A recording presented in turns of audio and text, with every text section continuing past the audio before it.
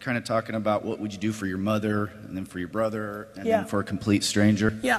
Um, I started a company called Red Monkey Foods. We do gourmet seasonings and spices. So since I am a complete stranger, would you mind uh, tweeting about it to your 900,000 friends? Good hustle. I'm obsessed with hustle, right? But see, what I find interesting is even though I just gave a really passionate talk, you went for the 19 year old dude move, right? You tried to close on our first transaction.